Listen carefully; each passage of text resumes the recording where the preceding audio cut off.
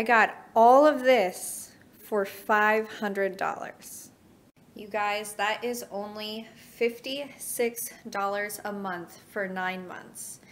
So if from the first month you find out you're pregnant, you only save about $60 a month, this is the baby haul you will be able to provide yourself if you follow the same pattern that I did.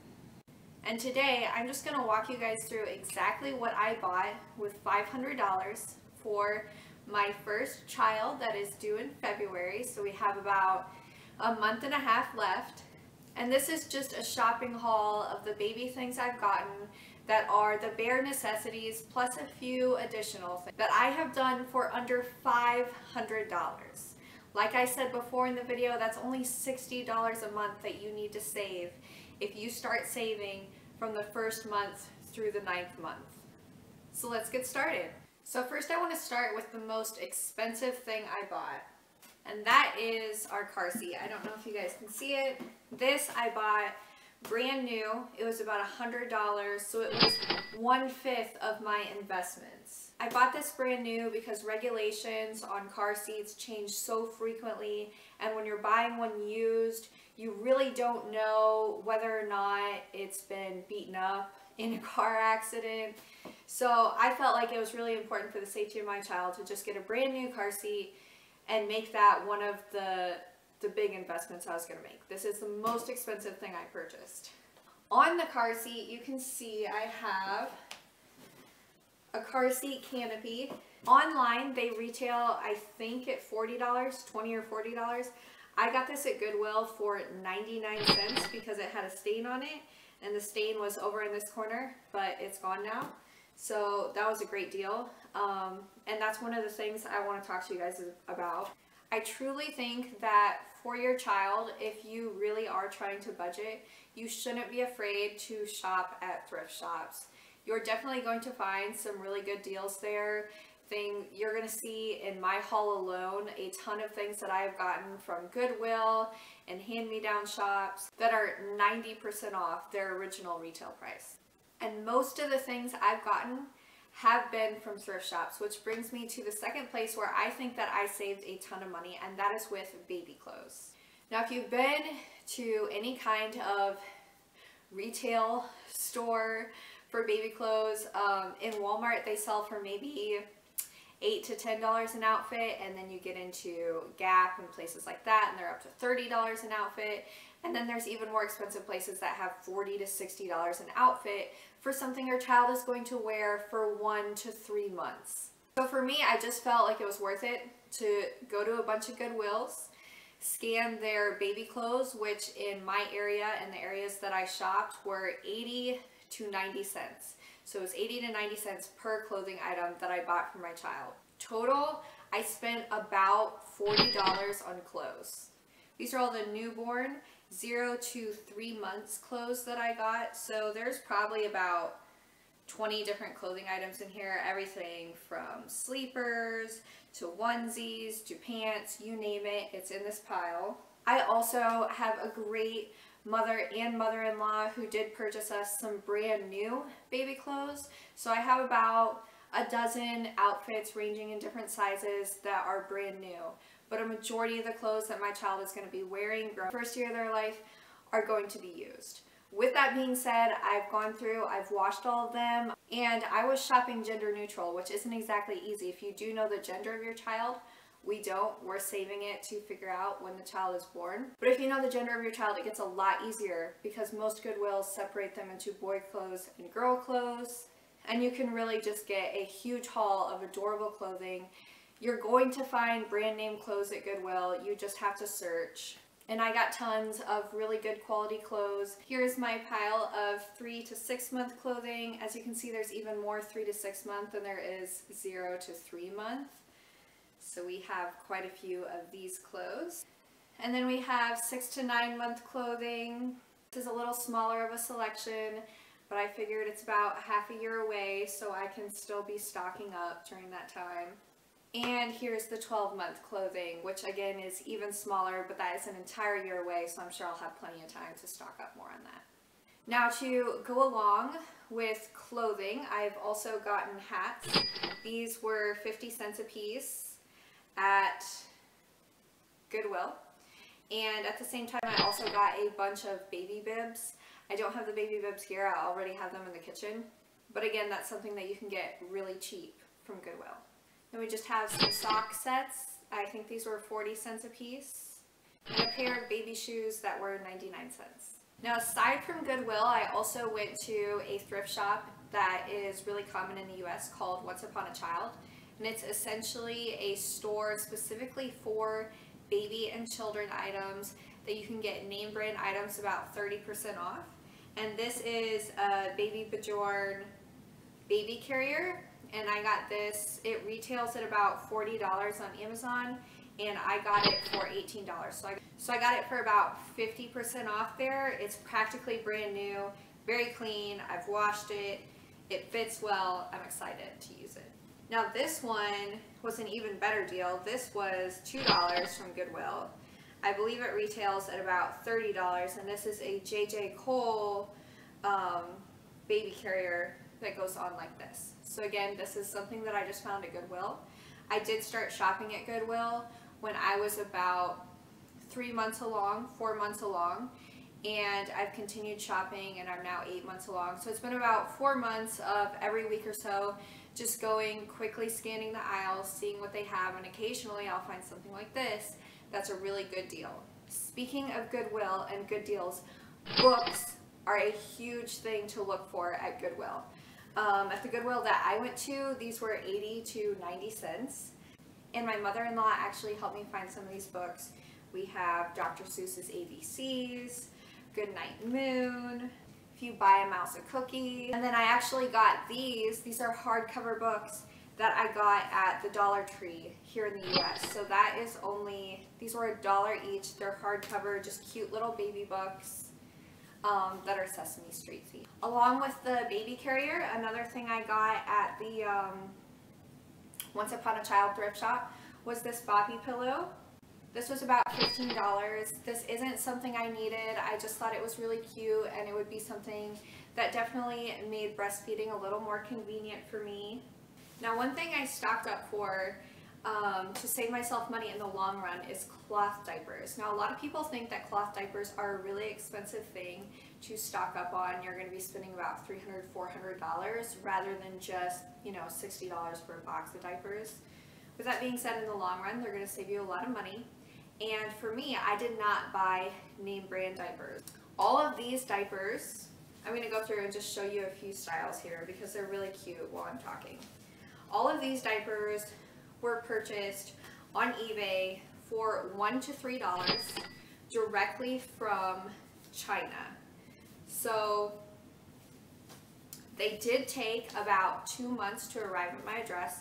So if you are going to buy cloth diapers from eBay, I suggest doing so early. And these I've compared and the quality is the same as the ones that I've found online. Granted, there are a couple expensive brands that you can tell are definitely a little more well made, but for the medium price brands, these are the same exact diapers. They have adjustable snaps, so you're going to be able to use them from newborn all the way to toddler. I'll go ahead and open this one up and show it to you guys. But it's very soft on the inside.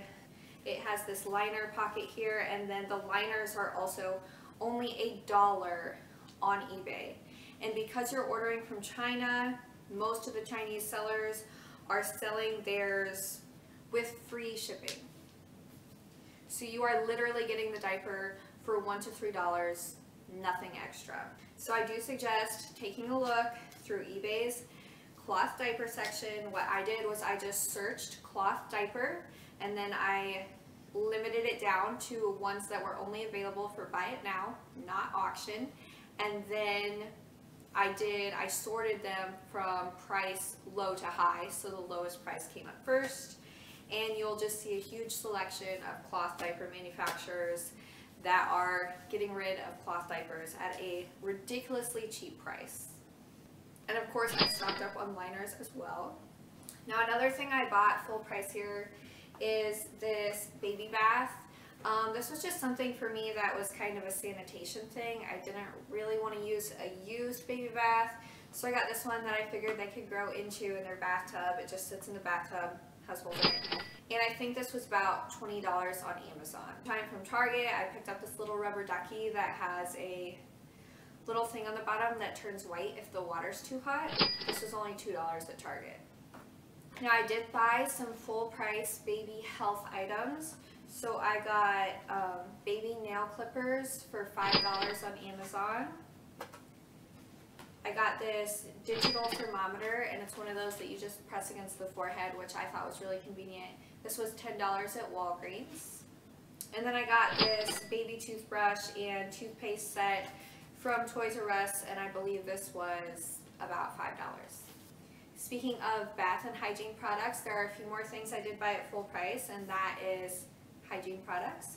So I got shampoo and body wash. This is by Burt's Bees. This was one of my more expensive investments in terms of not getting the cheapest item available, but instead getting one that I thought was good quality. And because I love Burt's Bees and I use them for a lot of things, I also got their lotion, their baby powder, and their diaper cream.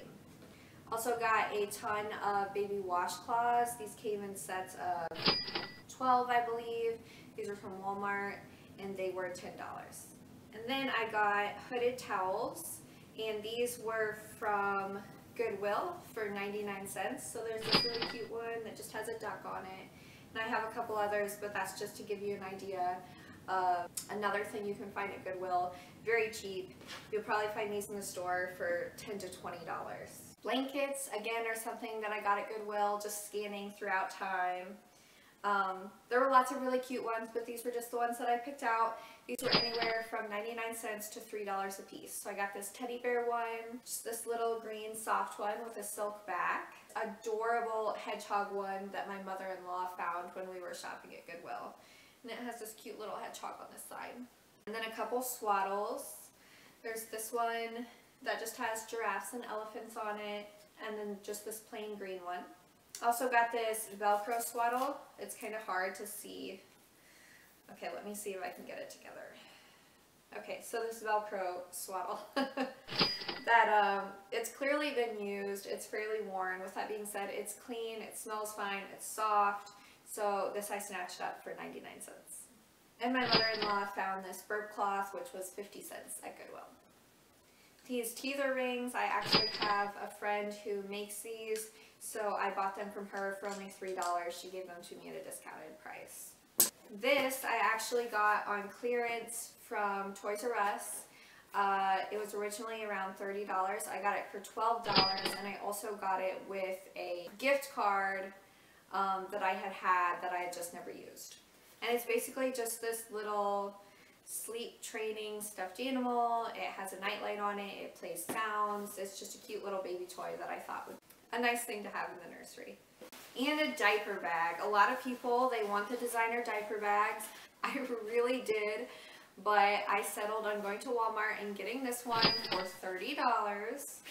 And I got it because it came with a bunch of stuff in it. It's made of this waterproof material that I feel is going to be really easy to keep clean. It came with a diaper changing pad, white container, little storage bag, and a bottle container that's insulated and has a little handle on it so you can keep your bottle in it. Not the most fashionable diaper bag in the world, but it's extremely functional and because it came with all those freebies, I felt like it was worth the $30 I was going to be spending on it. Speaking of freebies, you can get freebies when you are pregnant. Companies want to advertise to you. They want to send you samples. So a few great ones to look up is there is a Walmart baby box that you can just Google Walmart Baby Box. You can sign up, put your address in. You're going to get free samples sent to your door. And then there's also a Amazon um, baby welcome box that you get when you create a registry and then spend $10. So I spent my $10 on these bottles. Bottles were something, it's definitely something you can find used at Goodwill, absolutely. But it was something that I wanted new just because I wanted to know that they had been well taken care of and were clean and the nipples didn't have any holes or anything. So I just bought bottles new. So I got this set for $10 and then I got my Amazon welcome box. Both the Amazon welcome box and the Walmart welcome box came with actually a free bottle. So I got two additional free bottles just for signing up for those baby boxes. Also in the baby boxes, I got tons of other things that I've saved. I have um, nipple pads for when I'm breastfeeding, all kinds of different samples of butt creams for your baby, baby wipes, baby wash samples, a set of 20 newborn size diapers. This is great. This came in the Amazon box. And this little set of hygiene products for your baby. It comes with a wipe and this is um, seventh generation brand, which I love and I use quite a bit.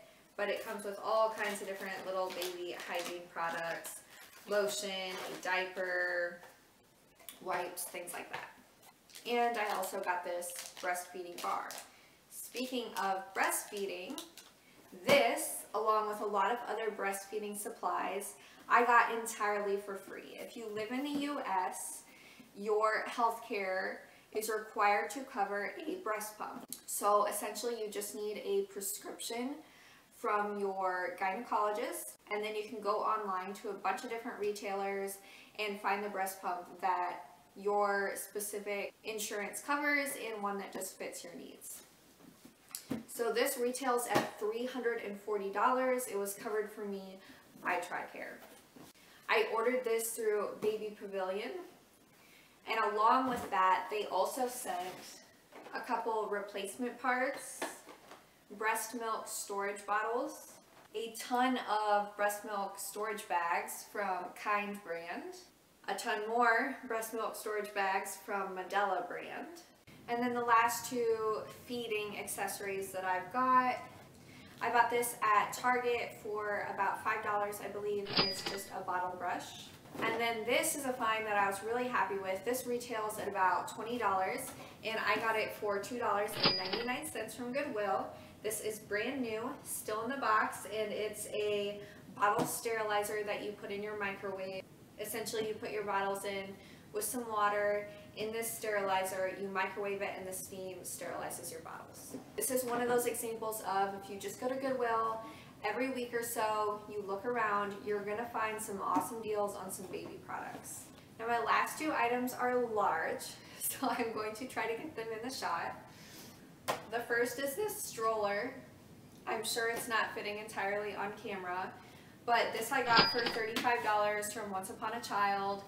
It wasn't something I needed, but it was something that I liked and the price was so affordable I figured why not. And lastly is probably the most obvious item that I have here and that is this playpen. And I got this for $60. I think it originally retailed around $90. So I do have cashback cards that I use on all of this. Target, I have my 5% debit card. Amazon, I have a 5% credit card, so I do get cash back. That helps me with savings a little bit.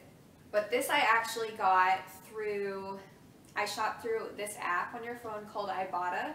I'll leave a link in the description below if you want to sign up.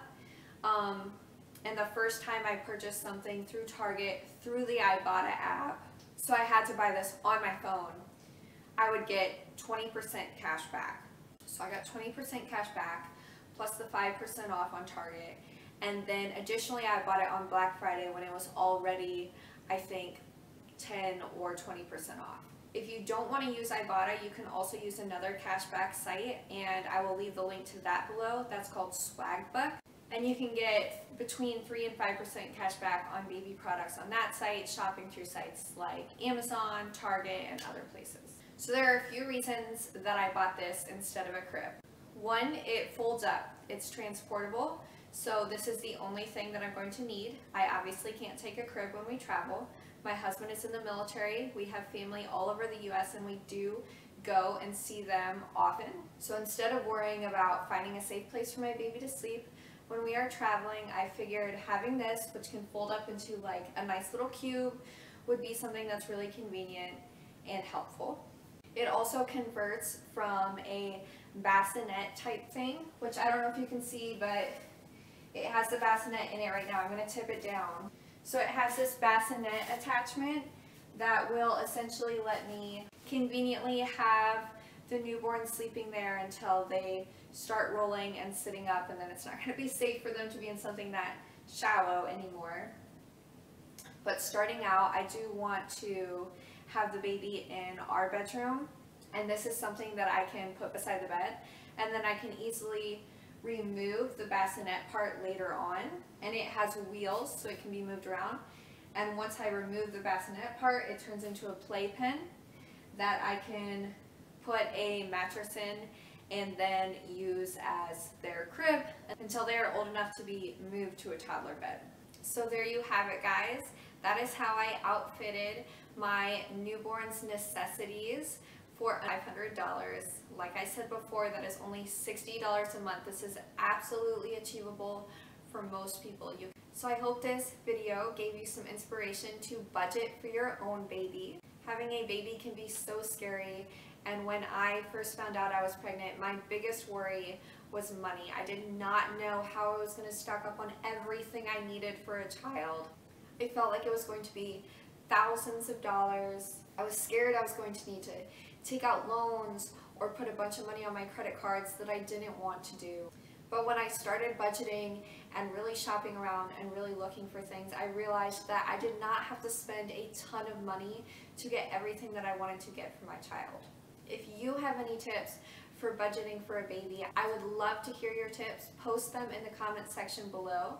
I do think that there is no shame in shopping from thrift shops and Goodwill for your child. There is no shame in budgeting because your little one is not going to care that they're in a 99 cent outfit from Goodwill. They're going to care that that outfit is clean and they are warm and they are well fed and they are loved.